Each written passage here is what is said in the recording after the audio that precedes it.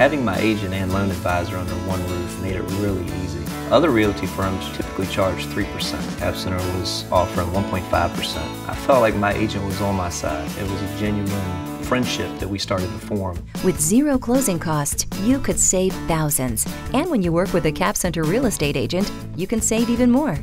I do not feel like half the commission meant half the service. If anything, I received better service than I've received in the past. Cap your home buying and selling costs with CapCenter.